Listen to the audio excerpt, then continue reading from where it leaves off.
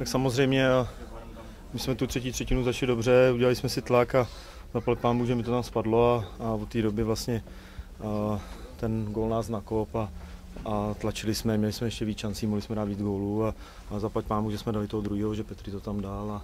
a že jsme vyhráli. Jo, tak Brno hrál dobře, my jsme se tla, snažili jsme se tlačit a oni hráli dobře to střední pásmo. Snažili jsme se tam nahazovat, ale nikdo, neměli jsme podporu, třeba jeden to nahodil a, a dva stáli a té třetí třetině jsme si najížděli všichni ze spoda a protečovávali jsme si to, byli jsme první na puku a udělali jsme si velký tlak a, a dali jsme dva góly. No. Do té třetí třetiny my máme silný, vlítli jsme do ní a, a hráli jsme to jednoduše krátký střídání, šli jsme víc do brány, víc střel, protože první třetině jsme měli jenom jeden nástřel, to jsme si taky řekli, že tam musíme víc dávat a Franta Lukeš to srovnal a, my pak na přesilovce jsme to dali na 2-1. Já jsem rád, že teď budou dva dny trošku na regeneraci a, a my se musíme se podívat na video, to, co jsme tam dělali špatně. A zbytečně jsme jim dávali našema chybama zase šance, příliš moc dlouho držíme puky, nedáváme to rychle od hole, protože víme, že oni tady v tom jsou dobrý strašně. Tam to bude o hodně těžší než tady, to publikum je tam požené, mají ho tam vynikající taky a